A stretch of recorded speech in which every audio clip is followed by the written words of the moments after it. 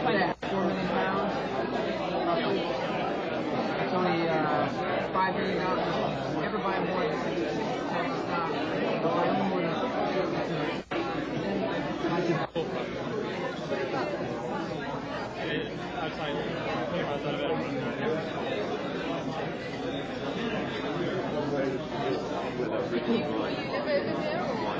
About half the year.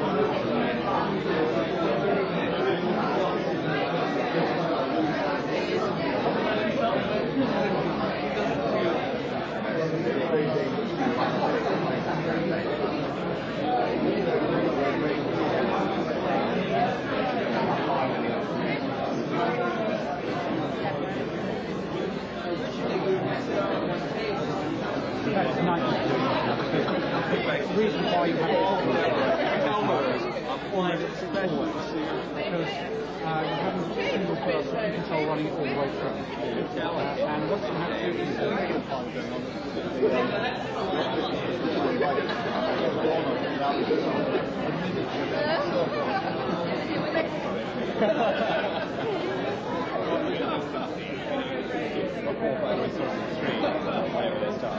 That's pretty great. It's, it's going to. And learn about two actually of the way. And it's very important. I'm slightly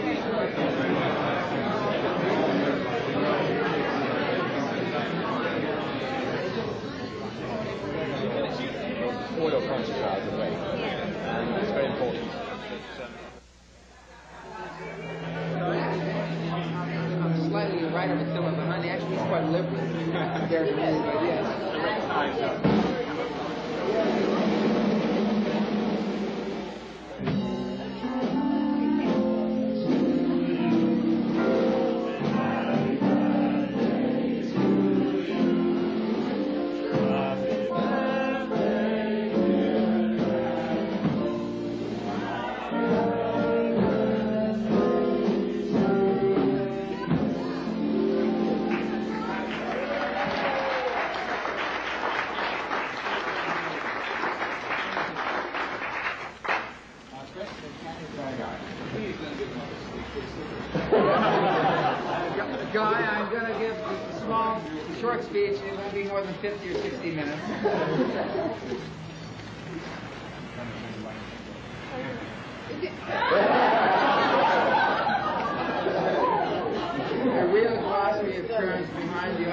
Sale.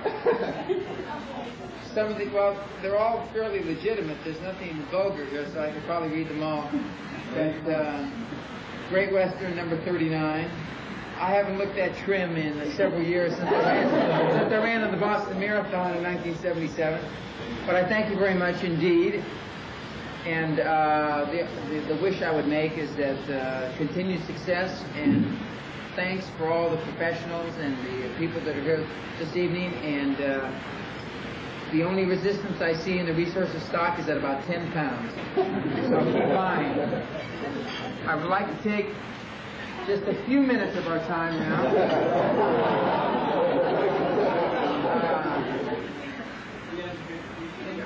Uh, not- notwithstanding, not- notwithstanding I'm not a consummate public speaker as our, oh, you want to cut this? Okay. As uh, some of the people in the room, especially our uh, resident politician, Mr. Lilly, um, I will. Uh, I, I think it's important uh, to really relate some of my personal feelings and the feelings of Great Western Resources uh, to the group that's assembled this evening. Uh, I'm uh, somewhat of a fatalist in that uh, a lot of the things that have happened have happened really uh, by way of not really luck, but uh, calculated luck, more importantly. I have been asked here recently in the last few hours, especially today, how I feel. Well, I don't really feel any different than I did yesterday, excuse me, or the day before. But uh, what I do feel is, that uh, I think I need a little cognac here to wash my face. what I really do feel is that, uh, short of the birth of my two sons, this is uh, probably the happiest day of my life. Uh, very much like the birth of my two sons, Derek Stewart and Dan Jr. Somebody had a, somebody else other than myself had a great deal to do with this. Uh, notwithstanding, I was the father of my two children. Uh, and the father of this project, my wife, uh, with respect to my two sons, did all the work and, uh, and, and bore the children. Uh, very much analogous to that, the people in this room, amongst a great many other people that aren't here this evening, uh, did all the work and bore the child, which was Great Western Resources. Uh, Today uh, is the uh, 10th of August, 1984, which is, for a lot of uh, obvious reasons that we've already discussed, is my birthday, and I'm 39 today. The, uh, but it's the 13th year that I've been out of university. I've been in the real business world 13 years. 13 is a very lucky number to me. Uh, I met my wife on Friday the 13th, 1970. She was one of 13 women, and I was the only man on a ski trip to Yosemite, California, which is fairly legend in the United States, which has been unpublished here. We got engaged on Friday the 13th, and we were married on Friday the 13th, 1973. Um, it's only fitting that Great Western Resources was floated uh, here in the UK uh, in the 13th year on the 10th, notwithstanding our first or our second day of dealings will be the 13th of August, which will be Monday. The uh, I feel that, notwithstanding I've, I've received a number of accolades about uh, the success of the flotation, it, it's really very much a, a group effort, uh, a group effort uh, that I think that should be rewarded, and this is just a very, very uh, minor way of, of, of issuing my thanks and Great Western Resources thanks to the people that did an absolutely uh, uh, and tremendous professional job. Uh, more than anything, our success, uh, notwithstanding the great professionals that were involved, from the solicitors to the uh, accountants to the uh, to the merchant bankers and all the people that are involved, there's one or two people that really have have really shone as bright as these lights in the room this evening. One of which is sitting at the table with me this evening, and his name is John Coyle. He happens to be with a company called Broad Street. Uh, he's in the advertising business, PR business. But more importantly, I think he's really shown gifted genius in bringing uh, publicity and PR to an issue that has been maligned because of the industry that it happens to be in, the oil and gas business. Um, notwithstanding the negative press generically that has come out about our industry, John, through his genius and his colleague's genius at Broad Street, has somehow, perhaps in a convoluted manner, I'm sure, I'm still not sure how he's done it, has, has convinced the uh, investing public, the institutional investor, the uh, the analyst, that uh, that we should defy gravity, as it was it was put uh, this morning in uh, in the Times. Um, I can't thank John Coyle and Broad Street enough. Uh, the I've been involved in a lot of uh, issues, uh, notwithstanding my background is Wall Street, and I have never seen a better job done, more professional job done, and I, I think that it, it, it, it's due uh, John Coyle a, a round of applause from the other professionals that were involved in this issue. John.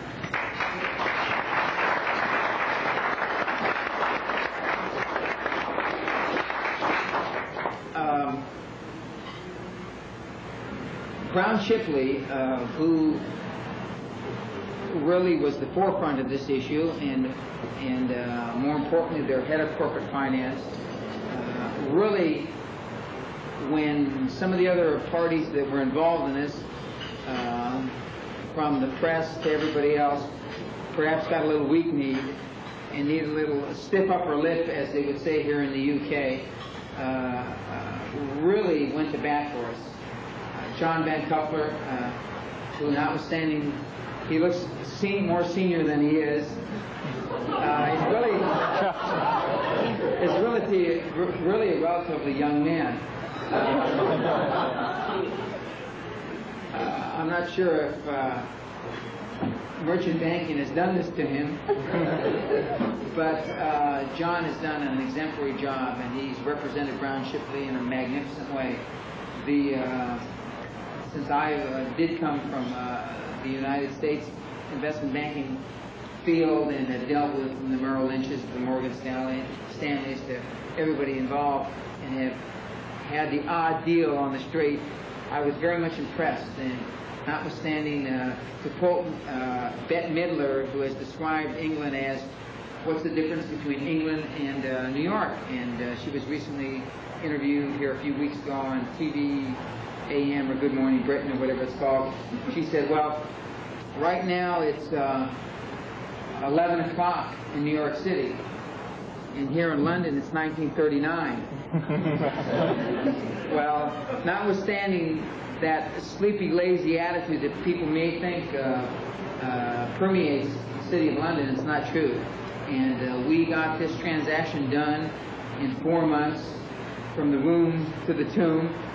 Notwithstanding this is in our grave, and uh, nobody uh, has been more responsible for that than John Van Cutler Brown Shipley, and I'd like John to stand up and uh, take his due. The uh, backup for John, who I've uh, made some very caustic remarks about over uh, the 15 or 20 institutional presentations that I made, uh, and the butt of my jokes. Where's the butt of my joke? oh, Jeremy uh, has been really three people. Uh, first and foremost, because of his youth and because of the fact that he's 23 and he looks 15, is Jeremy Knight, who uh, was really the manager of our project. Richard Osmond, please stand up. Jonathan Gage, who's really the senior statesman. And, Since Lord Farnham couldn't be here tonight, I don't mind saying in front of Richard Mansell Jones, the managing director of Brown Shipley, these are really the brains of the deal. I still remember uh, several months ago in uh, Los Angeles when uh, Jonathan Gage uh, had cocktails. Why are you covering your head, Jonathan? had cocktails at our at our home, and we went out to dinner. And uh, Jonathan was telling me this is fantastic. but gee, sounds some uh, cross between Bela Lugosi and uh, somebody I, I, can't, I can't remember. But it, it's been a really enjoyable experience. It really has. I only wish that uh, my other partner in crime, in addition to Mark Harrison, who I'll talk about in a second, Charlie Soliday, who's our chief financial officer, who is, is really doing the work now back in the United States and in uh, supervising the development of, our, of our field in the DJ Basin. Uh, we're here tonight with his lovely wife, Cindy. Um, there, there's a gentleman just lit a cigarette. Uh, his name is Mark Harrison. And uh, Mark uh, is a former partner with one of the biggest law firms in the, in, in the world. And uh, he has been my attorney. Everybody here knows that name by now. Billy Cumber Wagner, Heine Underberg, Casey, and Manley. Manley Casey. Manley and Casey. And uh, he's really the one that pushed me to, uh, once we met with Brown Shipley, to go ahead with the idea of a flotation because I was, I said the market's not right. And after talking to Peter Lilly, he assured me that the market wasn't right. But uh, we went ahead anyway, and, and, Mark uh, really was very forceful, and uh, he's as much uh, the reason that we're here uh, this evening as anybody.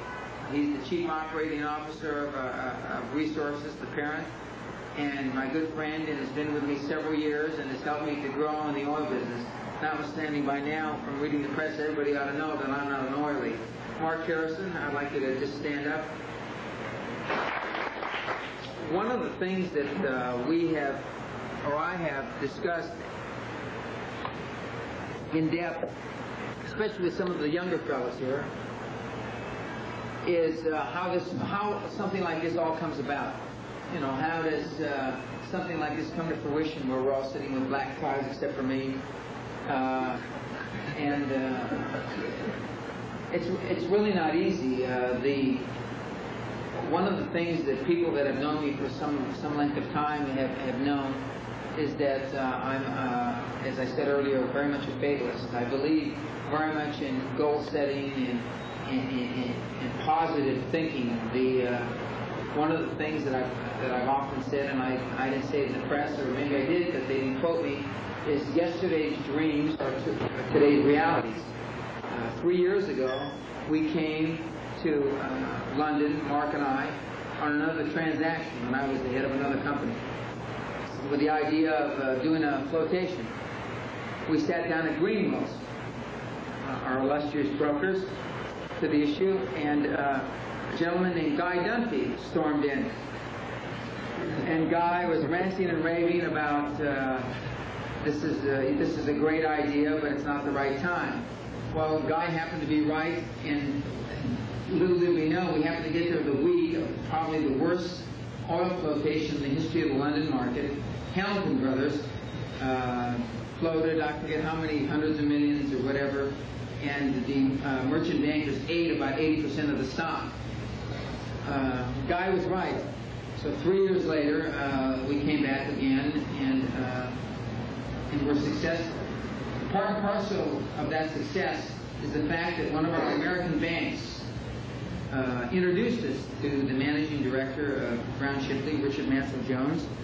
Uh, quite innocently, I, I believe, I think anyway, uh, originally. And but if it weren't for that introduction by Mid-Atlantic Bank, which is the largest bank in New Jersey, which has really been our premier bank and is the reason that we're successful today, uh, we wouldn't be here today. And I'd like very much to thank personally, and I think as a group we should thank, uh, the now leading head of the Mid-Atlantic office here in London, who will, will be going back to New Jersey here in the next two or three weeks, George Jenkins, who really uh, is primarily uh, responsible for our introduction to Brown Shipley. And without that introduction, it's, it's likely that this uh, issue wouldn't have come to fruition. George, thank you very much. Before I get too long-winded, because I promised Guy Dunphy, Notwith- Notwithstanding, inter alia, uh, I didn't know what that meant until uh, we started dealing with Allen and Overy and Freshfield. Uh, um, yeah. I'm not sure I know what it means now, but the, uh, I'd just like to spend a couple of minutes uh, talking about uh, the support that we've received, uh, the uh, starting with the PR and the press and with our professionals, and the fact that we did a, a number of dog and pony shows, as they're called in the United States, uh, i.e., going around and talking to institutions and uh, analysts, or more importantly, in my humble opinion, purported analysts. The uh, How to say that? the fact that, that we have been favorably received is, is really a reflection of the fact that uh, all of us in this room, amongst a great many other people, and a lot of other firm, firms, never gave up. Uh, the uh, I've historically uh, been successful in doing a lot of things against the trend. Uh, this afternoon, I spent most the last two or three hours before I came here this evening on the phone with my Wall Street former colleagues uh, who are all very much excited about the issue. And uh, I think that the excitement will, will really spread. I've said, notwithstanding I used to be on the technical side, which I don't brag about anymore, uh, the only technical resistance I see in the stock is about 10 pounds. But uh, I think that uh, performance is the name of the game now. We have sold this issue on the fact that, notwithstanding one of the oil issues that came to market here in the last six months, which has been very successful, that uh, we really can't be compared to any of them. And uh, I think that history will prove itself. One of the, the things I'd like to say now is I'd like to thank two of the directors that are here, uh, notwithstanding all of them couldn't be here. Uh, the grand old man of the North Sea, as he's been called in the press recently, uh, Robert Dyke, formerly of Hamilton Brothers, more importantly of Great Western Resources now, in my humble opinion, who uh, brought in the first oil of the North Sea. And I think that Bob Dyke, Bob, you, so they can see your brain head, has given a great deal of credibility to what, what even though we're, we were quoted uh, or talked about as being an excep- exceptional management team, a great deal of credibility vis-a-vis his 50 years of experience. And without his sage advice and guidance, uh, this couldn't happen. Also, Mr. Bruce Patterson, formerly uh, finance director of Tricentrol and formerly uh, of Shell, uh, group treasurer for 23 years. Uh, the the experience factor with Bruce, tied with the, with Bob and our other directors. I mean, we we couldn't have done without. It's been a group effort. I've gotten a lot of accolades, and I'm, I'm very appreciative of them. And uh, I think in closing, I would say that uh, I feel very much like Eisenhower uh, on, on, on D-Day when finally Omaha Beach was, was, was taken. Notwithstanding, there were a lot of beaches that were taken very easily. And uh, Eisenhower got a lot of credit for probably he wasn't he didn't, wasn't deserving, and I'm sure I'll get a lot of credit for things that I'm not deserving. Thank you very much, and God bless you all.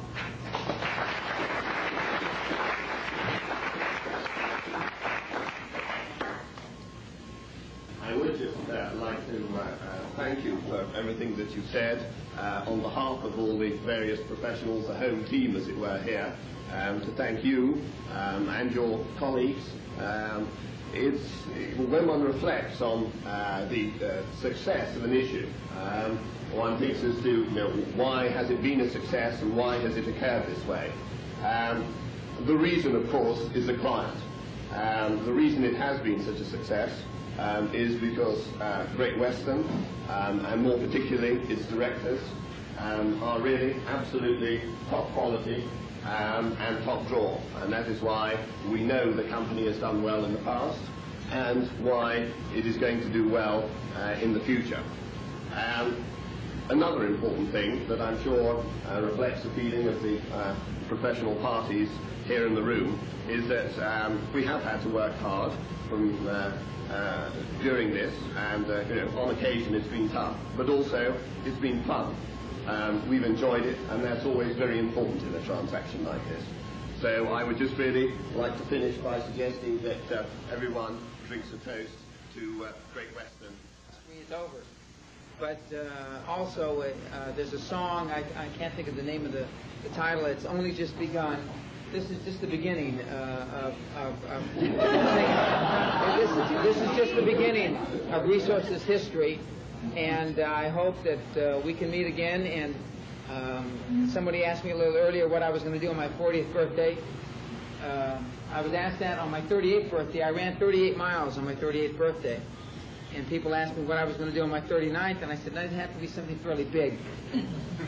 um, uh, the company has something fairly big to do in the next year. I think we'll have big announcements on my 40th birthday, August 10th, 1985. Thank you very much again.